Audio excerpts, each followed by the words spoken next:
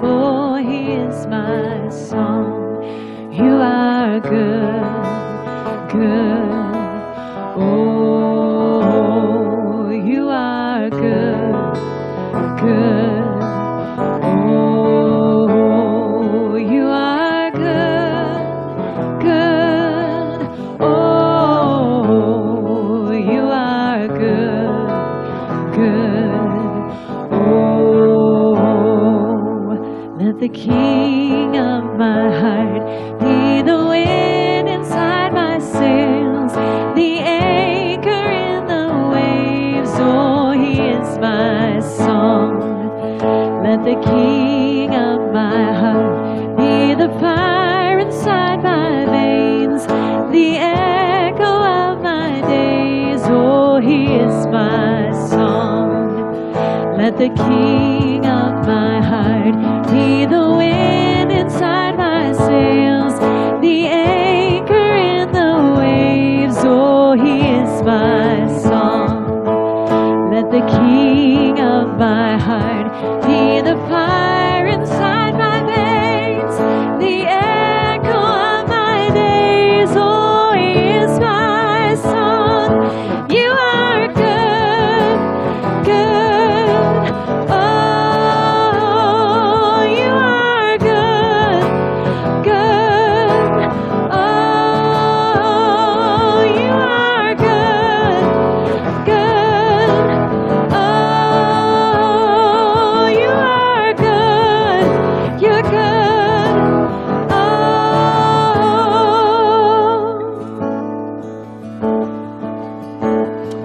guys are welcome to join us if you want. There's an insert inside of your program that has, has the words for you. You're never gonna let, you're never gonna let me go. You're never gonna let, you're never gonna let me down.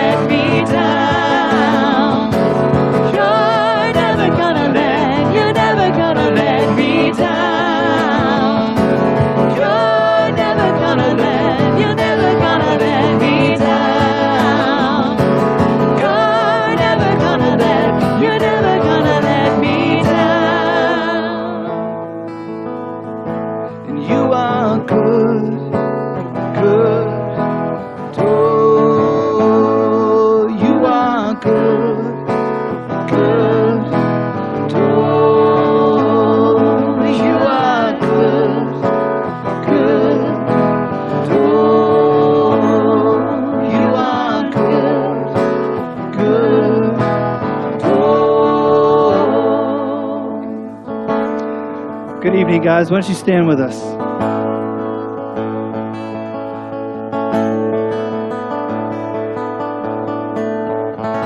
God, I thank you for a new day. Thank you for the middle of the day. Um, I thank you for rest this morning um, and time for us to come together to worship you, to bring our stuff to you. Um, God, I pray that we have not left anything outside these walls and that we bring it here tonight and we give it to you. Uh, you are good. You are faithful. You are with us through everything, all of it. Good, bad, ugly, you're here and you're with us. And I thank you for that, God. I pray that these songs would be prayers for us. If we're in grief, they'd be prayers for us. If we're in happy, they'd be prayers for us. That these are words for us to sing to each other, to ourselves, and to you. And I pray that your heart would be moved this morning, this evening, God. Um, and would you pour yourself upon us? In Jesus' name, amen. Told myself, don't say morning. Don't say morning. Like I dreamed about it last night. You're going to say morning. You're to, no, I'm not going to say it. I did it. All right. All right, sing these words with us. Mighty Fortress. It's in your, uh, in your little program. Almighty fortress is our God, a bulwark never failing.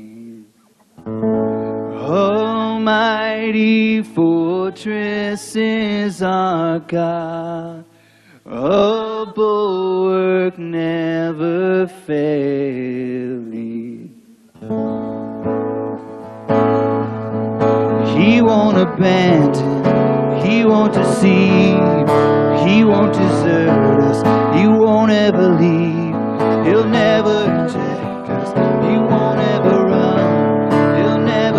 never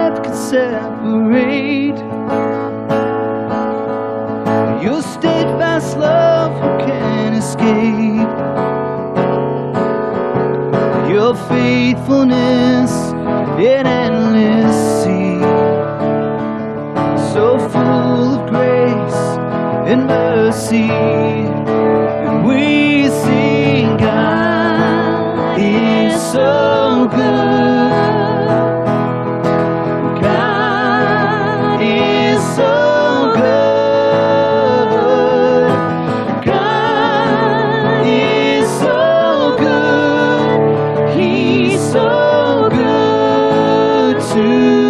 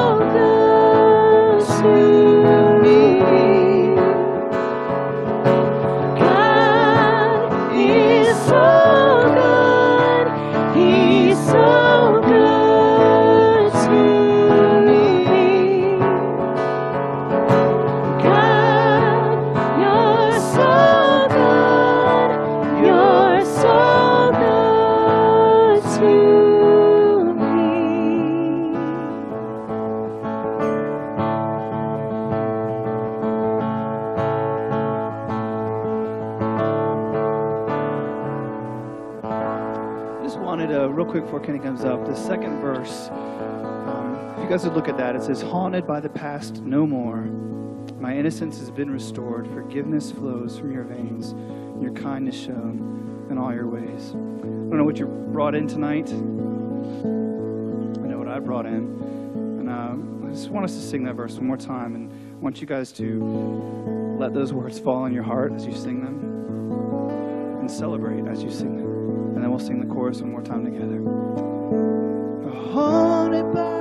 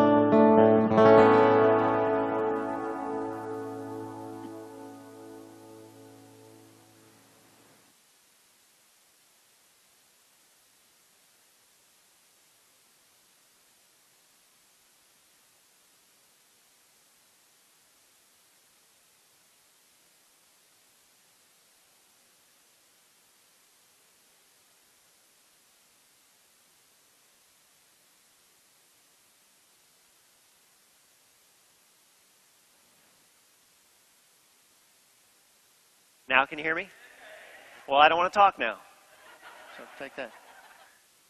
So it is a lot different. Uh, different time of day. Uh, we're in the sanctuary, not over in the gym. Uh, there's no donuts. Um, but you know it's not good. It just from the first, as the band began to sing that, even before the service started, and they were beginning to sing about God's goodness, and then those last two songs, that's what's not different, right? I mean, God is so good, so worthy of our worship. Doesn't matter what time of the day it is. Uh, it's good to be here. It's good to be worshiping with His people. And uh, we're excited to be here with you tonight. And glad that you uh, chose to join us. Um, in addition to the opportunity just to worship as we always do tonight is a communion service. And so that's a kind of a special uh, opportunity as well to experience something a little more unique tonight. So glad that you're here. Um, let's, let's pray as we open up tonight. Heavenly Father, we have, have sung of your goodness tonight, and, and it is so true. You are worthy in every way. You are the refuge that we sang about tonight, so that uh, I, I pray that whatever we are facing, as each person in this room might be facing something tonight where they need you to be their refuge, their place where they hide and they find you and they find strength and they find whatever it is they need. I pray that tonight as we're here together, gathered in your presence, I pray that you would minister very personally to each of us. We've come here tonight because we need you more than anything else. And we long to be in your presence, not only to, to worship you and declare how worthy you are, but because in you we find all that we need. So I pray tonight as we experience your presence that each person would experience whatever it is they need from you tonight. You are worthy. Your love is astounding. As H.L. read that verse again about love flowing from your veins, as we consider tonight, as we gather around the table of your broken body and spilled blood, we just begin by acknowledging what a, what a costly and extravagant salvation you have provided for us, and we are grateful tonight for your love. It's that love, it's that sacrifice on the cross that enables us to come tonight without any kind of fear or condemnation or guilt, but to come freely and just enjoy being in your presence and bragging and declaring how good you are. So we praise you tonight. We pray that all that we do, the prayers and the listening to your word and, and, and, uh, and, and Zach preaching and us responding to your word and celebrating communion, that all that we do tonight, we our prayer would be that it would honor you, that it would glorify you, and that it would hold you in high esteem because you are worthy. We pray all of this in Jesus' name. Amen. Amen. Well, glad that you're here. Um, if you are a guest or a visitor, uh, really neat that you're here in, in kind of an odd, uh, different time in a different place, but really glad that you visited with us. We normally meet, probably as you know, if you came with somebody, we meet on Sunday mornings at 1030. Uh, but we're glad that you're here tonight. If you would, uh, if you are a guest or a visitor, if you'd take just a few minutes to fill out the information slip that's in your worship guide, uh, and really encourage everybody to fill these out every week. Um, if you're not, if you're more a regular attender, there are opportunities, at a place on the back where you can fill out prayer requests.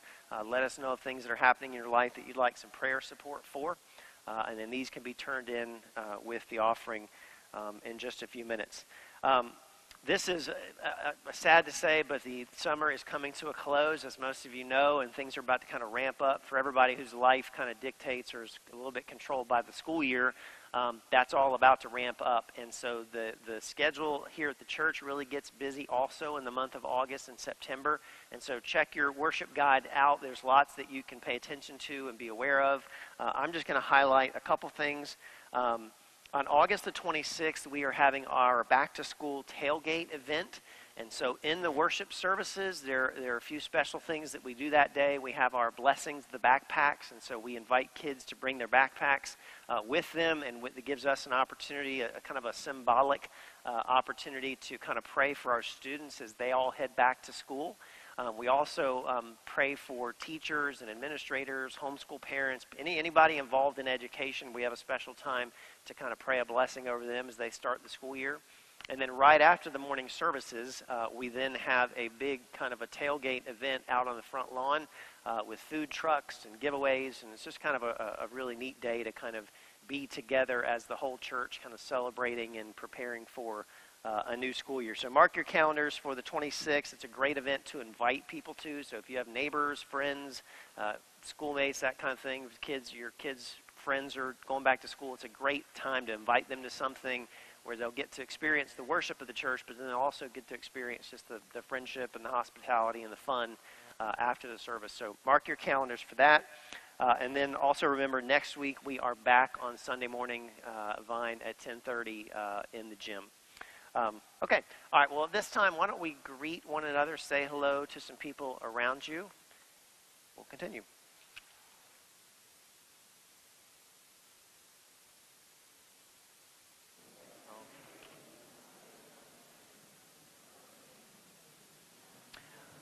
All right. Well, as you make your way back to your seats, uh, as the ushers prepare to take the offering, let's pray. Once again, Lord, you are good and faithful to us, and we are grateful. Uh, your faithfulness and generosity is what puts our hearts at ease so that we are not people who have to worry. We're not people who have to fear. We're not people who have to be insecure about being taken care of because you're a good Heavenly Father who does take care of us in every way. And so, Lord, as an expression of our trust and as an expression of worship, uh, we give back to you. We, we sacrifice, we invest in the things that matter most to you. And so tonight we ask that you would accept our offering as an act of worship.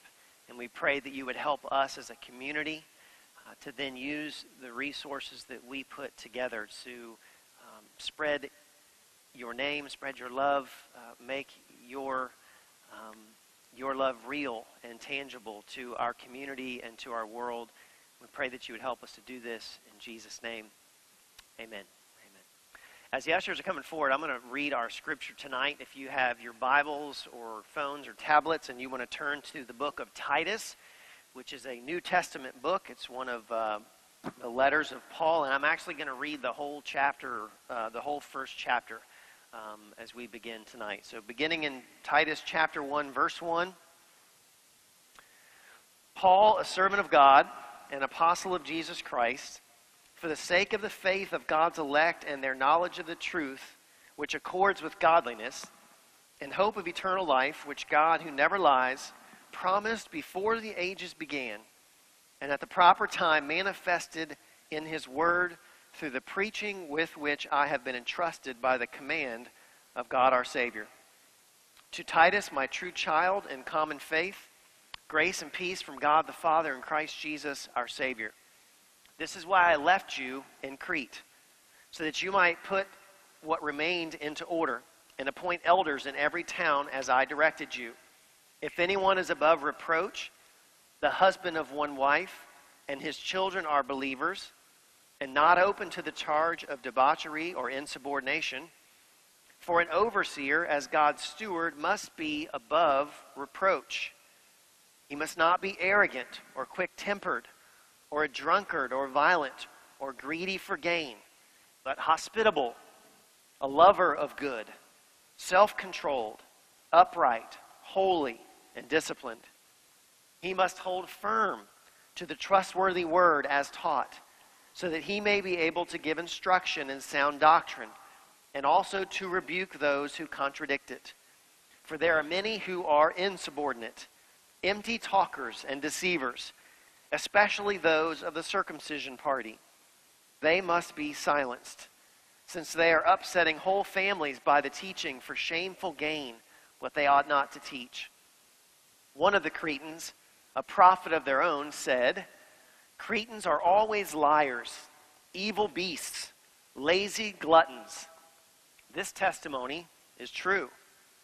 Therefore, rebuke them sharply, that they may be sound in the faith, not devoting themselves to Jewish myths and the commands of people who turn away from the truth. To the pure, all things are pure, but to the defiled and unbelieving, nothing is pure. But both their minds and their consciences are defiled. They profess to know God, but they deny him by their works. They are detestable, disobedient, unfit for any good work. This is God's word, and it is trustworthy.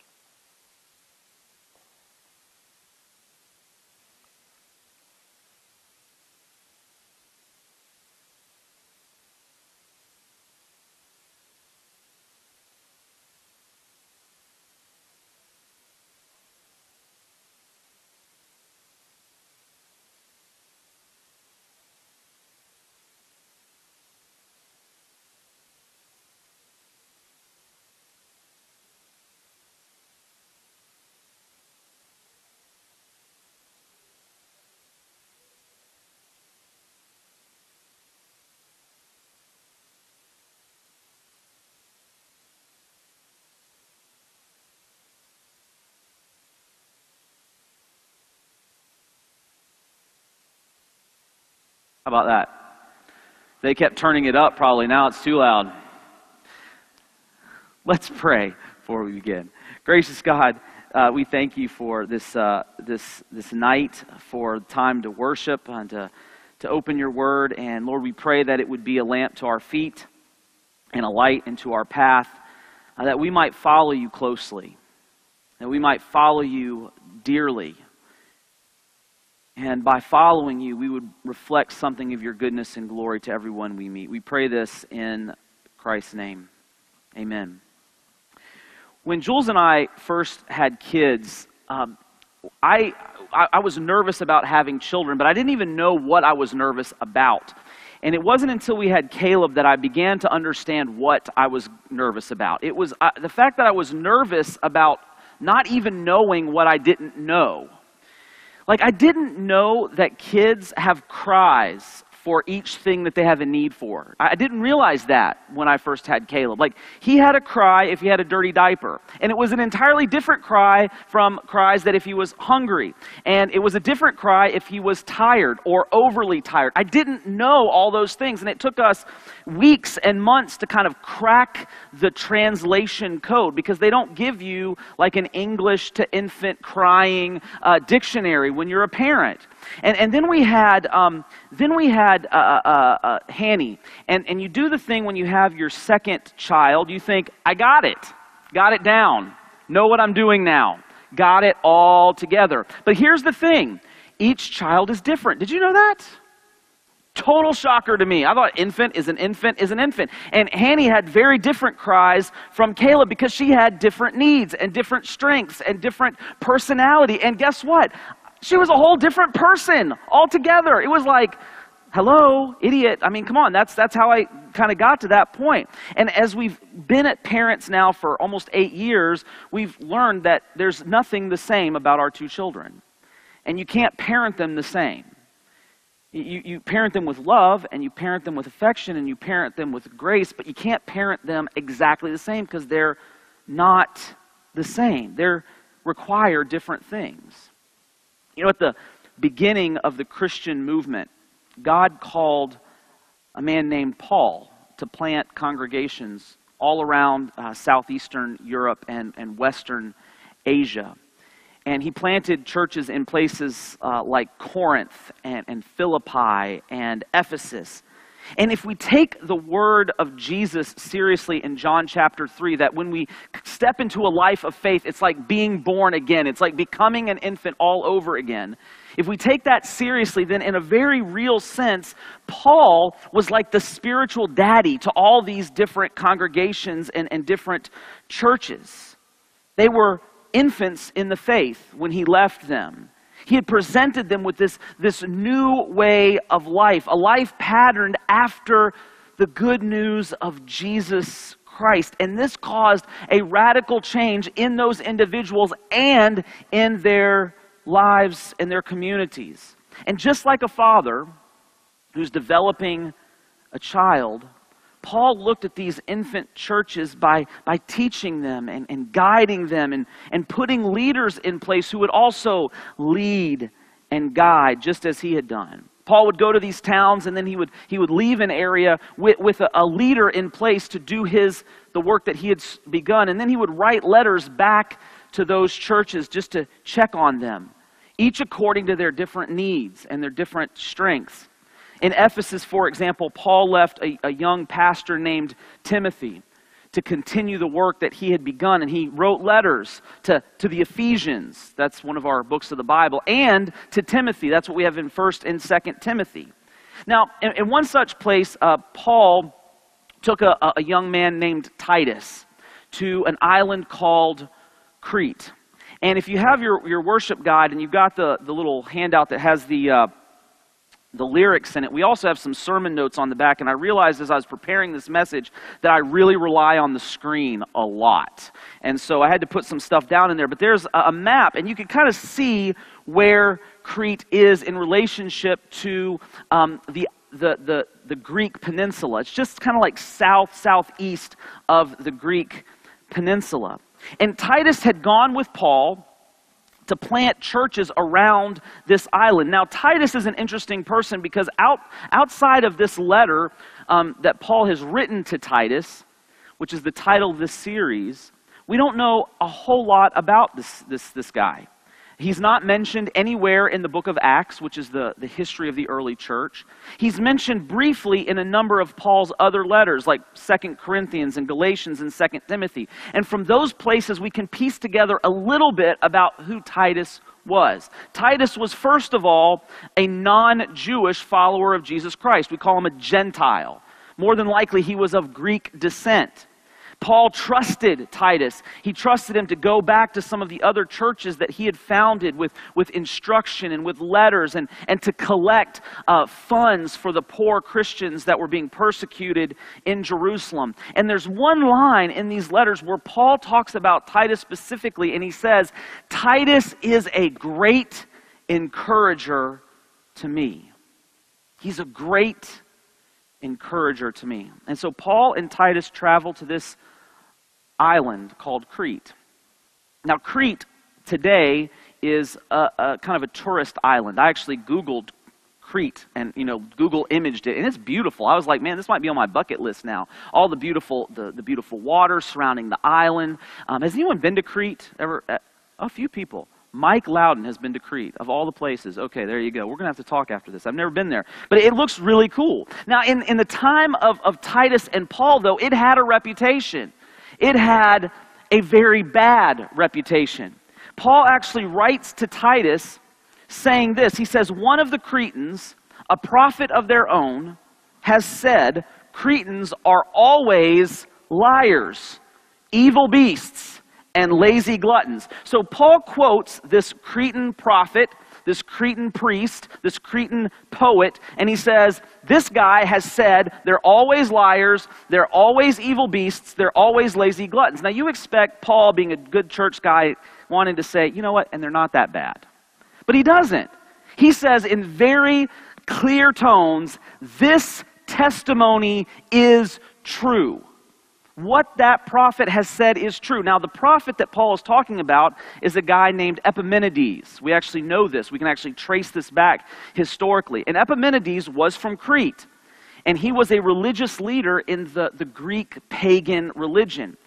And he wrote this about the Cretans because the Cretans actually believed that the birthplace and the tomb of Zeus were on their island. Now, I don't know if you remember, you know, Greek pagan religion, you know, learning that when you were in school, Greek mythology. Zeus is kind of a big deal. Okay, he's like the top in the pantheon of gods. And the Cretans said, hey, guess what? The birthplace and the resting place of our God, our chief God, it's in our tiny little island. And that made them extremely arrogant and extremely boastful. And it caused them to engage in all sorts of bad behavior. And so Epimenides looked at the Cretans and said, they are liars. They are evil. They are lazy gluttons. That, that term Cretan actually had such negative connotations that up through the 20th century in the United States of America, to call someone a Cretan was a terrible insult. I didn't realize how bad an insult it was until I was watching a movie with my children called Monsters Inc. Have you ever seen Monsters Inc., the Pixar movie? There's a point in that movie in which one of the monster characters calls another monster character a cretin. That's how big a deal it was. It's carried all the way through to a children's movie in the 21st century in the United States of America. That's how weighty this testimony was. This is how bad Crete was in the time of Paul and Titus. It wasn't exactly a place that screamed, Yes, come plant a church here on our island. And what made matters even worse and made the island even more of a difficult place for the church to grow and become established was that there was religious competition from teachers who claimed to be at least somewhat associated with Christianity. Paul writes to Titus, he says, There are many who are insubordinate, empty talkers, and deceivers, especially those of the circumcision party. They must be silenced, since they are upsetting whole families by teaching for shameful gain what they ought not to teach.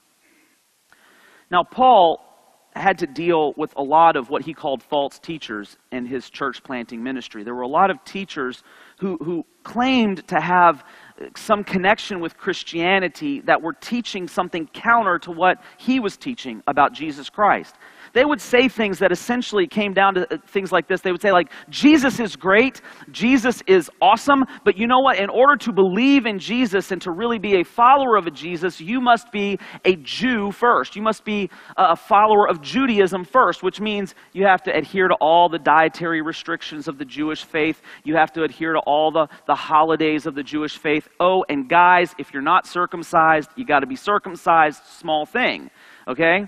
And, and that was kind of their MO. And some of them actually went so far as to say, if you do those externals, then you can do whatever you want to on your own time. You can sin freely because God's grace is so big and God's love is so amazing that you can just be as immoral as you want to, be as drunk as you want to, be as promiscuous as you want to. And it doesn't matter because Jesus saved you.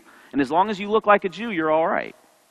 This was the kind of teaching that Titus and Paul were dealing with in Crete. And can you imagine if I got up here and started preaching a sermon like that? Like say, hey, Jesus is so awesome. His love is so amazing. He is so good to us that we could just go do whatever we want to. So let's all go outside and have a big old kegger and be as promiscuous as we want to be. And, and if you preach that sermon in Crete, where the people are already prone to that kind of behavior, you can imagine they're like, yes, sign me up. I'm all for it. And that's what these teachers, this, the kind of thing these teachers were teaching, causing all sorts of problems. So this island wasn't exactly what we would call a place that was ripe for the gospel. It wasn't exactly a place that was a promising ground for the, the good news to be planted. And yet, D.A. Carson and Douglas Moo, these two commentators, when they're writing about Titus, they, wrote this, this statement that really just jumped out at me. They wrote, The gospel is for the most unpromising people. That's what the gospel's for. It's not for the people who think they're righteous or act so holy. It's not for the people that think they have it all figured out. It's for the unpromising, the most unpromising of people. You know, I think one of our chief struggles in North American Christianity is we don't think like that.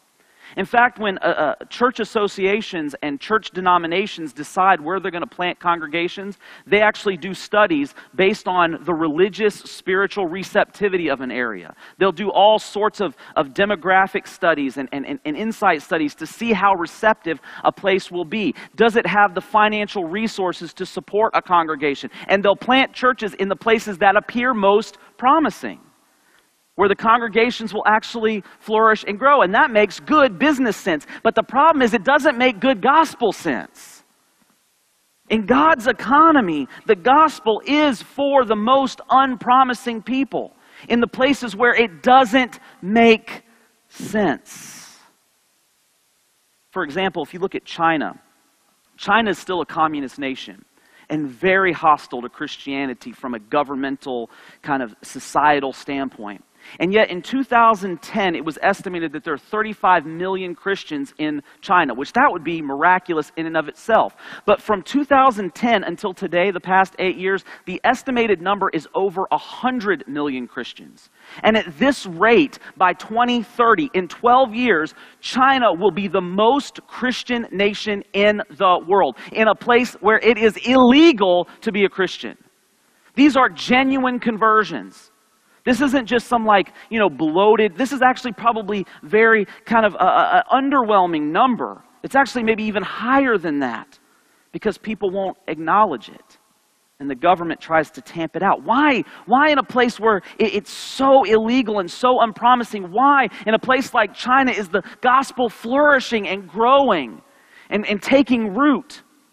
Well, in, in Crete, the answer was simple.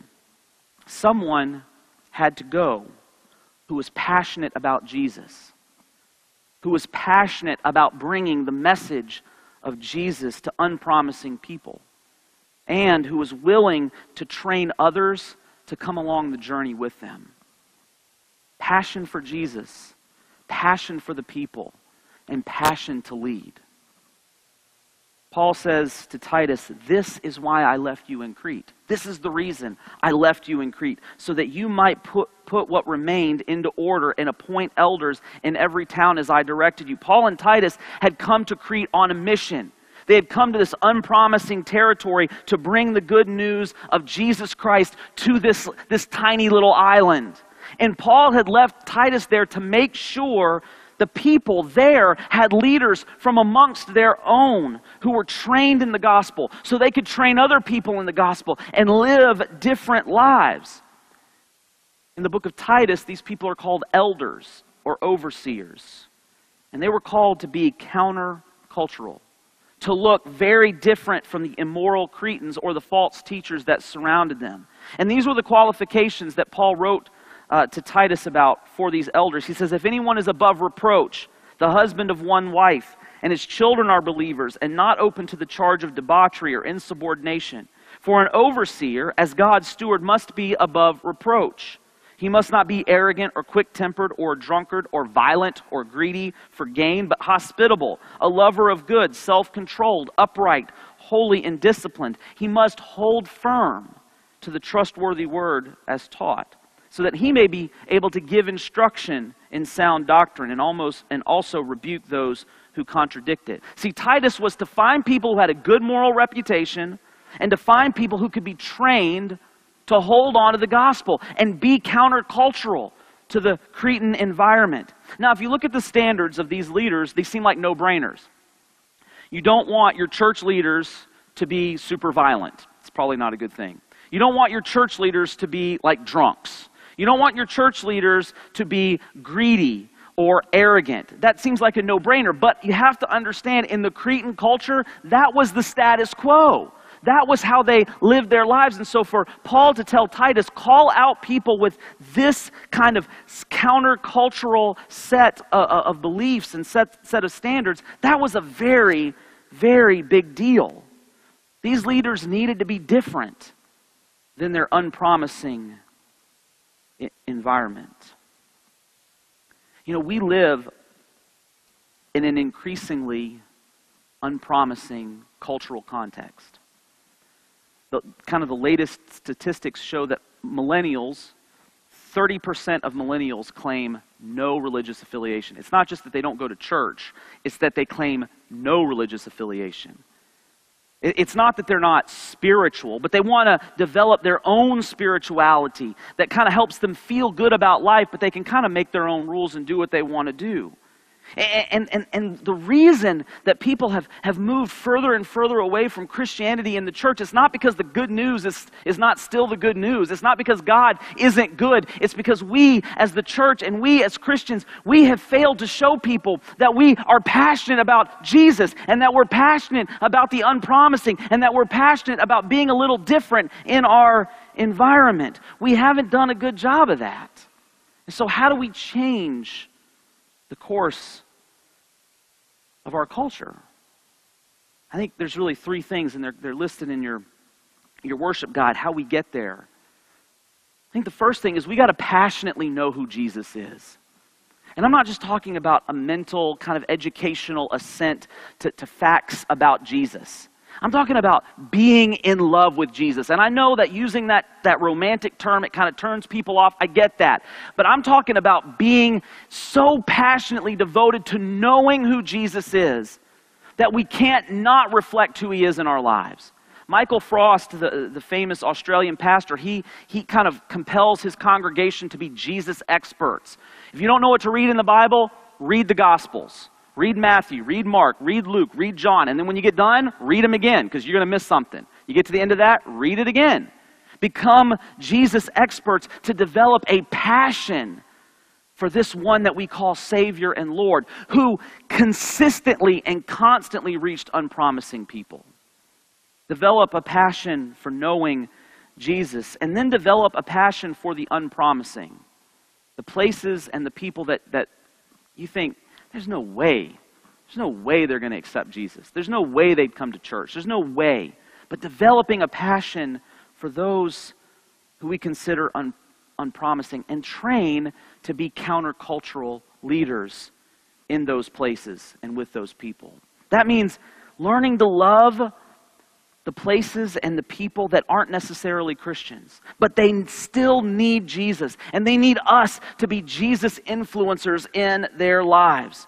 You know, as the school year approaches, maybe it's, maybe it's like your local school, your local elementary school, your local middle school, your local high school. Whether you have kids there or not, trust me, the administrators and the teachers are not going to say no to help. And I'm not talking about going in with a Bible and thumping it at them. I'm talking about going in and saying, how can we be, a, how can I personally be a blessing to you, to your school, to your students? That's one of the reasons that we've been collecting these, these, these school supplies for Philip O'Brien. Because it's our local elementary school. I'm going to drop them off next week, and we're going to keep collecting for a little while longer. We're going to drop some more off so that we can kind of just get in there and just say, hey, no agenda. We just want to be a blessing. We just want to be a blessing. And we want to be a blessing because Jesus has blessed us in whatever way we can. We want to reflect that. Maybe it's in your workplace. And maybe, maybe it's as, as extreme as starting like a Bible study or a prayer group, but it might be even more simple than that. It might just be looking at somebody in your workplace that, that just kind of you just feel like God is compelling you to develop a relationship and taking them out to lunch or just going to lunch with them and just developing that relationship and praying for them and praying with them and saying, hey, you know what? I don't want to get weird on you, but I'm praying for you. Because they might think it's weird, and that's okay. It's okay to be a little weird. Um, I was talking to um, Brian Morgan a couple weeks ago, and he's our student minister and he's gotten in the habit of taking some of the students out to different meals, especially throughout the summer. And uh, as they do that, he's kind of trained them to ask the server if there's anything that they can pray for the server as they're blessing the meal. And at first, uh, the kids were like, well, they're going to think I'm weird. Yeah, they are, because nobody treats them like a human being. Nobody treats them like anything more than just someone who brings the meal to them. And that little, that little act of blessing, that little act of care, it, it can make such a difference in being a Jesus led influencer in even the most unpromising of environments. And they've gotten into some really cool conversations in those restaurants. You know, we're not all called to be church elders or overseers, we're not all called to be behind a pulpit or to teach a Bible study, but we are all called to be countercultural passionately led followers of Jesus Christ who influence even the most unpromising of environments for Him. We are all called to that in whatever circle we find ourselves in. And it, it might get a little strange, and it may take a little training, it might take a little discipline, but it's worth it if we see the fruit begin to form. God's calling us to the unpromising, the most unpromising of environments. He's calling us to be influencers for the sake of Jesus Christ. That Jesus who died on the cross for us when we were the most unpromising. The question is will we answer the call? Let's pray.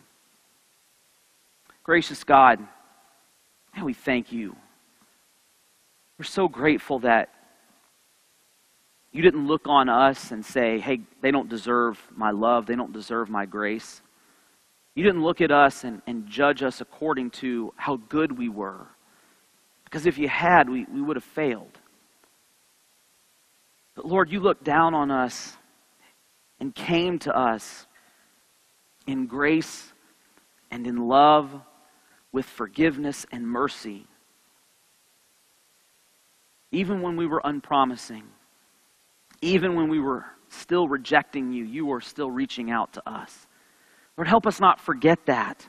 Help us to not lose sight of that so that as we go into to our spheres of influence, even places that, that aren't necessarily Christian places or full of Christian people, in places that appear very unpromising, that, that you would motivate us out of gratitude to you to just be blessings for the sake of Jesus Christ, to be your influencers in those environments. We pray, Lord, that you would wrap us in your spirit and in your love and motivate us to good works.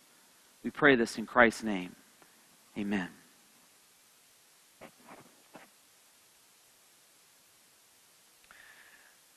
The gospel is for the most unpromising of people. It was true for the Cretans, and it's true for us. And that's what makes it amazing news. And like all amazing news, sometimes amazing news is a little bit hard to believe. So, how can an infinitely perfect God offer people like us, who are unpromising and imperfect, such radical grace and forgiveness? That's the question. And the answer is Jesus' sacrificial death on the cross. You see, our sin was not simply dismissed, it wasn't just overlooked, it was punished in Jesus. So that we might know that forever, the basis of our salvation is not our goodness, it's not our performance, it's not our righteousness. That's not the base of our confidence before God. And we needed to know that, and we needed to be reminded of that often. But instead, the basis is Jesus and his grace and what he's done for us. So salvation is free to us, but it cost him everything. And what Jesus did with those first followers and what he instituted for all of his followers was called the Lord's Supper. And it was a way to remind us of the costly love that rescued us. And when we come like this to the Lord's Supper and we celebrate together, we are assured that if He saved us, He is here with us to offer us a unique experience of His presence and His grace. When we come to the Lord's Supper, we are reminded again of His costly love. And we're also, when we come, it's interesting, out of all the symbols Jesus could have chosen to use. I mean, he told parables about all sorts of things in the created world. And yet, when he decides what is it that he wants to establish as a habitual, symbolic practice of the earliest Christians, he chose something so simple food and drink, things that we know are just, they're necessary to, to live and to thrive, to be nourished. And I think about the call that, that Zach just extended to us from God's Word this call to engage and to love and to sacrifice and to be on mission with Jesus. The truth is, is we in and of ourselves don't have what it takes to do that. It can be intimidating. It, it, it costs us emotional energy and strength. Well, Jesus invites us even tonight to a table where we will again be nourished uh, by the reminders of his love and the call to depend on him. This is one of those symbolic reminders. So as we come to the table, let us pray. Heavenly Father, we are grateful tonight for your word. We're grateful for the call, for the reminder that you came for imperfect people like us, unpromising people like us, who by trusting in you and trusting what you've done for us that we could not do for ourselves, that we went from being unpromising people to people of incredible promise not in and of ourselves, but because we are connected to you. We now have promise and hope and purpose. We thank you for the sacrificial death of Jesus on the cross. That somehow in eternity past, that decision was made. And I'm sure when the angels heard about it, they, they almost couldn't believe their ears that somehow the perfect God would become one of us. And then would allow himself to be called a sinner. That on the cross he might take our guilt and our shame and be punished and experience your wrath and your judgment so that we might be called the sons and the daughters of God and be forgiven. So we are grateful tonight for that reminder. We're grateful for the invitation to come to your table and be um, not only reminded of that love, but to experience it afresh tonight. So I pray as we come that you'd be with us in a special, in a unique way. Nourish us, unite us. And then, Lord, as we are nourished and have tasted again of your love and your forgiveness, we pray that this would be enough to send us in to our neighborhoods and our workplaces to spread that love. Thank you for all of this, and we pray in Jesus' name. Amen. So on the night that Jesus was betrayed, he took bread. And after giving thanks, he broke it. And he gave it to his disciples. And he said, This is my body broken for you. Take and eat. Do this in remembrance of me. In the same way, he took the cup and he said, This cup is the new covenant shed in my blood for the forgiveness of sins. And when you drink it, do this in remembrance of me. This table does not belong to First Presbyterian Church. This table belongs to Jesus. So if you are a follower of Christ and you've trusted him, then you are welcome to the table tonight. So in just a moment, um, Zach and I uh, and the elders are going to set up two stations down here in the front. And once we're kind of set up, then you are welcome to come. You're not going to be dismissed row by row. Uh, so as you feel ready to come, You'll come to the center aisle, make your way forward, receive the elements, and then you'll kind of circle back around to your seats.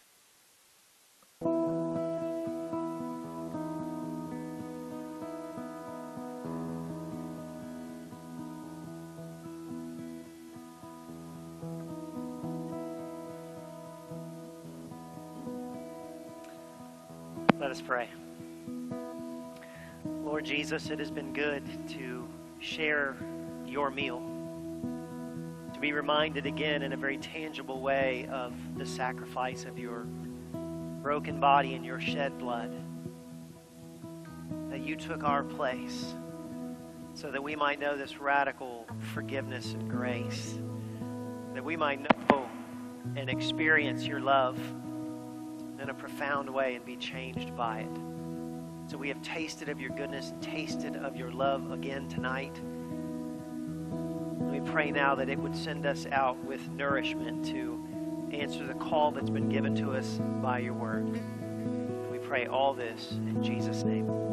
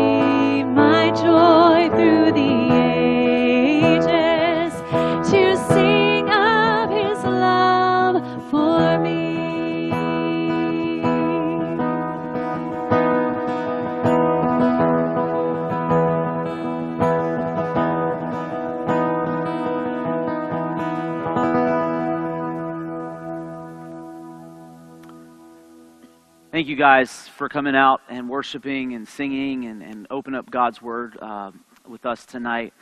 And next week we will be back at 10:30 in Loudon Hall, just like normal on Sunday morning. But between now and then, I remember the words of that song that the love of Jesus Christ is marvelous for each and every one of us. And and as the words on the communion table say, do this in remembrance of me. Every action that we take from now until next Sunday, let us do them in remembrance of the grace and love of Jesus Christ that reached down to us even when we were sinners so we can reach out to others. Pray this in Jesus' name. Amen. See you guys next Sunday.